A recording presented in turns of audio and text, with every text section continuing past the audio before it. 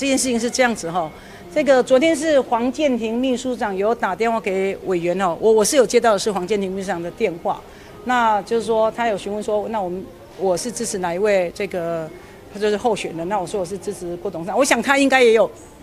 一一的询问各个委员哈，那所以。真正哪一位委员是支持谁？我说我去问的时候，我当时我去询问的时候，呃，支持郭郭董事长是比较多，在立法院呢，我去询问的时候有十六位，郭支持侯友谊市长的是有十三位啊。那我跟他说，我跟他说，我问的时候是这样。那我说，也许有的呃，我们委员会不好意思，也许也许我们挺侯派的委员，比如真总召去问的时候，可能就会变成好像支持呃猴的就会比较多哈。那我说。那不管是怎么样，昨天问的是黄建庭秘书长，大家也知道黄建庭秘书长他当然是秉持着这个中立的精神，所以他应该不会出来放话。所以我昨天说，呃，就是说说什么挺侯的有几十位，挺郭的有只有几位，这种绝对不是党中央传出来的，哈。那党中央也澄清了，哈，党中央没有说这样的话，党中央也绝对没有内定内定的这种行为。那所以我觉得是某些委员在。呃，特定或是某些人是特定的在，不一定是委员哦，可能就某些人特定的在放风向。那我想礼拜三之后，我们大家就会团结一致哦，是没有必要在这个时候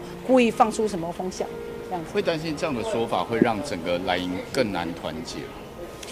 我想。呃，在野阵营的不只是不只是国民党的团结，包括在野阵营团结都是非常重要。大家都知道，这几年来在民进党执政下，事实上百姓的生活是很辛苦的。然后，而且两岸已经走向兵凶战危哈，所以呃，个人的一切都是事小的，小我哈，我们都必须要放下。呃，就是礼拜三，当如果说我们朱主席决定征召哪一位候选人的时候，我想我们大家都是一定要团结的。